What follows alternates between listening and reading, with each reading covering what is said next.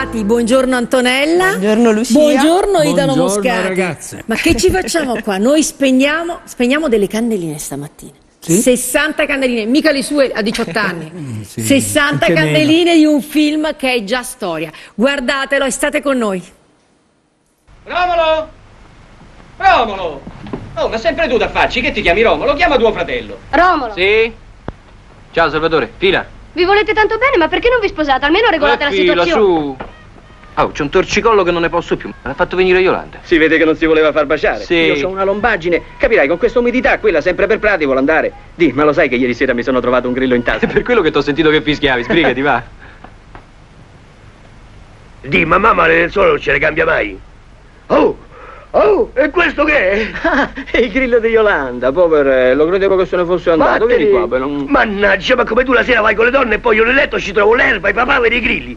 E se sapevo così andavo a dormire a Villa Borghese, almeno risparmiamo 10.000 lire al mese, no? Salvatore, il latte si fredda. Prendimi i vestiti e portali di là. Porta via tutto e non ritornare, perché c'ho sonno. E tu chiudi la finestra, va. L'Italia bella, piena di speranze, piena di giovani che avevano voglia di fare, ma perché no anche di sognare. Italo Moscati, 60 anni di poveri ma belli. Perché un film che raggiunge un successo enorme, fatto da, per carità, grandissimo regista già allora di Norisi, ma con attori che erano quasi sconosciuti, addirittura due erano minorenni.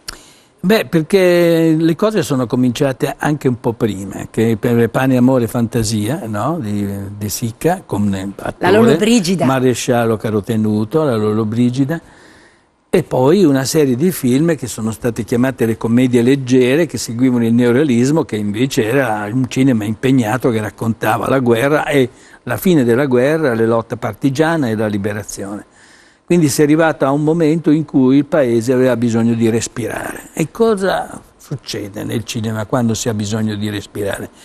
Lì si va incontro al pubblico che nessuno vedeva, che era quello dei cinemini di periferia, di cinema anche parrocchiali.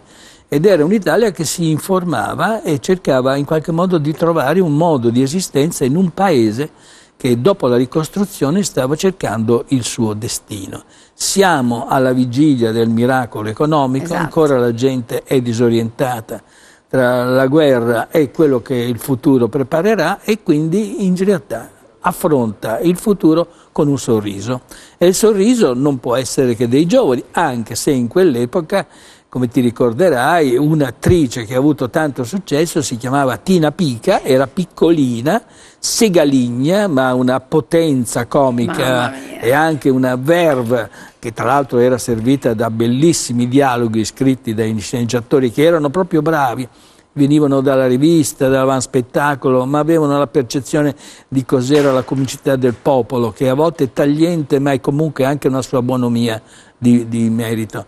E quindi eh, questo respiro di, uno- di un paese diverso, neanche di un benessere, perché la scena che abbiamo visto Anzi, racconta, bella. restituisce anche le, le difficoltà del Ma vivere certo, quotidiano. Memmo eh. Caratenuto, lì se- disteso in un letto che occupa semplicemente affittandolo, Esatto. beh, questa è un grande- una grande notazione.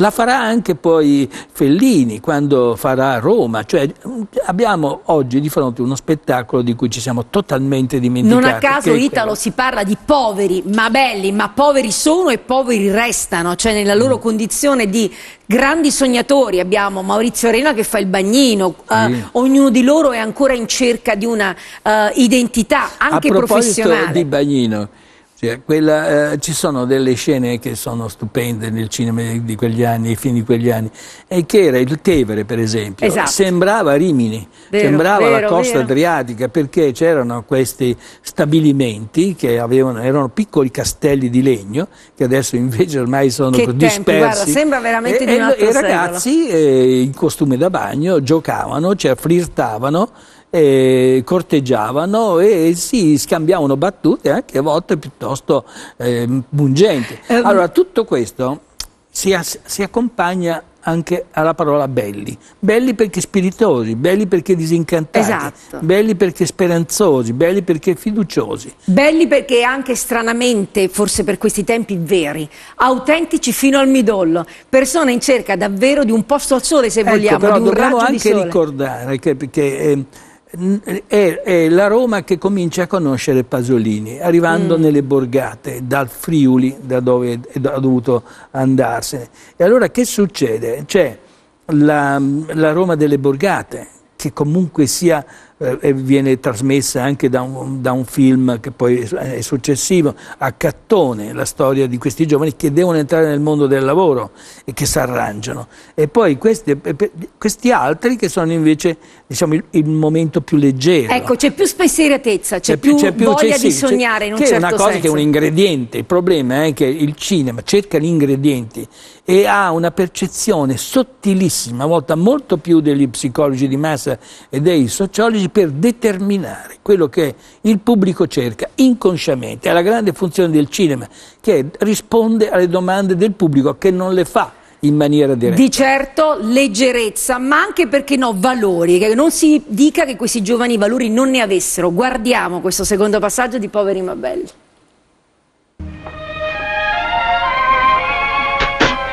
Ah, vedi queste? Da dove è? Ammazza che fata! E poi dicono che a questo mondo non c'è più bontà. Eh. Vita mia, amore mio, anima mia. Ma chi si muove, chi ci va a lavorare? E mica ti guarda, eh? È dispettosa. Forse fai complimenti, si vuol far pregare. E bacia pure bene. Bacia freddo. No. Buongiorno. Ma che è successo? Qui è cambiato tutto. Sabato non c'era un cazzolaio. C'era. Oggi c'è una sartoria da uomo. Ah, e allora mi faccio fare subito un paio di calzoni. Me li fa lei? Sì, sì. Ma le misure le prende lei? È naturale, no? E allora se è così me li faccio pure io, no? Ce n'ho di belle fatti. Se ve li volete provare... E come no? Accomodatevi. Intanto levatevi i vostri, io torno su. Sì?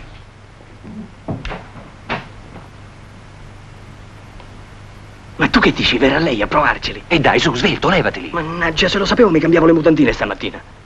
Siete pronti? Sì! Lo sapevo che quella ci stava. Ammazza, io con le donne c'ho un fiuto. Dai, dai. Oh, ragazzi, chi mi dà una mano? Pronti? Subito!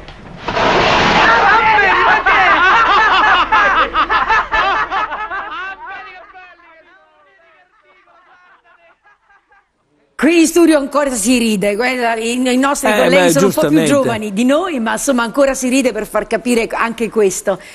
Sono delle pellicole, chiamiamole così, immortali, attuali ancora oggi, che però ehm, restituiscono anche il, il valore di attori che erano quasi esordienti. Io li voglio citare tutti, questo per ricordarli a casa. Renato Salvatori, che poi è l'unico tra i tanti che farà la vera carriera, Sì. Maurizio Arena, poi abbiamo la Lorella De Luca e Alessandra Panaro che erano 17 anni, pensate. Marisa Allasio, che invece tra i tanti è quella che poi più farà del cinema. È stato bravo Risi a puntare su di loro. Come, come ha fatto, in un certo senso, Ma quando, quando in Ad amalgamare il allora, tutto. eh, Cinecittà era la meta di tante persone che volevano fare un lavoro che piacesse e che in qualche modo apriva la porta a questi giovani eh, molto allegri, anche vivaci e anche belle, le donne Sì, erano molto belle. bellissima, bellissima. E quindi da questa scena qui vediamo mh, che viene fuori una cosa che ha una sua importanza, anche culturale, la malizia. La maliziosità della scena è tale per cui Marisa Allasio in questa parte mette in qualche modo in burla eh, alla berlina questi due personaggi che sono convinti di essere dei grandi Dei seduttori. lover, esatto. E allora lei è intelligente, come molto spesso le donne sono più intelligenti degli uomini in situazioni di questo genere, trova questa idea, che è un'idea dello sceneggiatore, che Dino Risi fa molto bene dal punto di vista dell'esecuzione, perché si può scrivere una cosa, ma poi se la- non la realizzi bene certo, non funziona. certo. E allora questa si, to- si leva il sipario, che è anche una metafora. Dietro a questo scanzonato mondo ci sono in qualche modo piccoli eh, avance che a volte danno una, una forma di orgoglio, quasi di una, di una- certa superiorità. Le donne sono una cosa mia, lei ci sta. Esatto. Allora Io sono è- bravo che ho capito che ci sta. eh, allora, questo per esempio è una cosa divertente, ma nello stesso tempo acuta in quegli anni in cui eh, stava cambiando l'amore, i sentimenti stavano in qualche modo eh, andando verso una direzione diversa perché che gli input anche del cinema americano, anche dei settimanali femminili, stava diventando sempre più importante. Diciamo che erano anche i tempi in cui le donne finalmente potevano anche dire la loro in tema di fidanzamento e matrimonio. È un film che però restituisce, dicevamo, anche i valori. La fine della storia è che i due amici fraterni sposeranno le rispettive sorelle e che Marisa Lasio, che è questa la, la, la, la diva diciamo, rispetto alle altre, poi ritrova l'amore del suo fidanzato storico. Come dire, ma tutto girato sul filo della leggerezza Sì. e dell'autenticità delle situazioni. Autenticità che ritorna anche nei sequel si chiamano oggi, cioè quando noi oggi vediamo eh, la, la serie 1, serie 2, anche per Poveri Babelli ci sono due Certo. episodi successivi, Povere Mabelle e poi Poveri Milionari, Mm-hmm. che hanno abbastanza fortuna. Povere Mabelle, eh, Italo è più concentrato sulle donne? Ma allora non si può fare un sequel, come si dice, se non c'è una novità, bisogna puntare su una cosa. Qui è chiaramente anche la presenza di attrici che, abbiamo- che tu hai nominato e, e dell'Allasio, i personaggi maschili hanno una loro dominante, perché il regista ha deciso con gli sceneggiatori che i poveri Mabelli sono poveri a volte nello, nello spirito, nei desideri, nelle ambizioni e quindi gioca molto invece il ruolo femminile. Esatto. No, bisogna rovesciare perché poi a un certo punto il problema delle donne è anche più complesso perché la donna in quei momenti lì non ha e non conosceva quel tipo di emancipazione e anche di capacità di rivendicazione che poi è venuta dopo. Il cinema riflette queste cose. È chiaro che a differenza della televisione, siccome è concentrato il contenuto, siccome il, modo in cui viene espressa la realtà che sta sotto le immagini, le, le- le cose non possono diventare un serial, perché strada facendo il serial perde, Perde, certo. eh, diciamo, dal nucleo, no? in qualche modo, di contenuti che hanno un- una loro legittimità di essere proposti. E quindi noi vediamo che in tre film si racconta sostanzialmente l'ascesa e la caduta. Vogliamo dei vedere un po' di. Povere Mabelle? Guardate Certo. qui.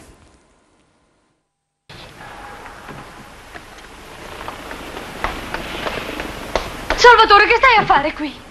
Ti prego, rispondimi. Non ti riguarda. Finché non me lo dici non me ne vado. Ma che viene a fare? Rivattene con quello là, va. Ma questa è la voce di Salvatore. Che Va. stai a combinare? Che è sta casa? Salvatore non ci fare ammattire, noi ti vogliamo bene. Se ve lo dico, ve ne andate? Sì, sì, di. Sto a rubare, va bene? Così mi faccio la macchina pure io. Come stai a rubare? Stai seduto qua, non fai niente. Lo dici tu, lo sai chi ci sta qua dentro? C'è uno che fa un buco nel negozio. Ma disgraziato, ma che mo rovinare? Ma con chi sta a parlare? No, non ti preoccupare, parlo con mia sorella, continua. Ma chi è continua? Cacciala via! Questi mi vanno rovinare. Sognare va bene, ma purtroppo la realtà spesso è anche difficile e quindi questi Sì. sono gli espedienti, gli espedienti che si mettono in atto, fermo restando che tornando a dire è una vita bella che comunque viene raccontata. Italo, Sì, perché questi film? Ma, allora, Spiegaci questi questo. Funzionano film- ancora? Questi film sorvolano, cioè nel senso che dicono le cose senza per questo vedere il versante drammatico, Mm. lasciandolo in qualche modo intravedere. E allora sorvolando succede che queste scene hanno anche una loro legittimità, proprio così espressiva, che quello sotto me vogliono fregare, quindi quello è un senso popolare di reazione rispetto a questi ragazzi che hanno desideri della macchina, io sto a rubare, no? perché voglio in qualche emanciparmi con il denaro. Allora, questo per esempio sono finezze di sceneggiatura. Ed è una cosa importante di tutto questo perché avviene negli anni 50. C'era una serie di scrittori che, che- che sono Tu diventati... insisti su questo punto, vero? Sì, perché io credo che il copione, la sceneggiatura sia un elemento di partenza. Però succede una cosa, che la, la- la sceneggiatura è una cosa che si scrive, quindi è orizzontale. La, la cosa bella del cinema, grazie ai registi e agli attori, scenografi, i costumisti, gli attori, è che diventa verticale. Le persone si devono muovere, devono avere un ambiente, quindi devono interagire ed è questa la cosa eh, che tra l'altro riguarda anche il ritmo. Qui c'è un ritmo sostenuto, nelle mh, fiction anche televisive i ritmi non esistono, c'è una dilatazione di tempi che in qualche modo ehm, penalizza il racconto, la narrativa, quella efficace e poi c'è l'elemento di recitazione.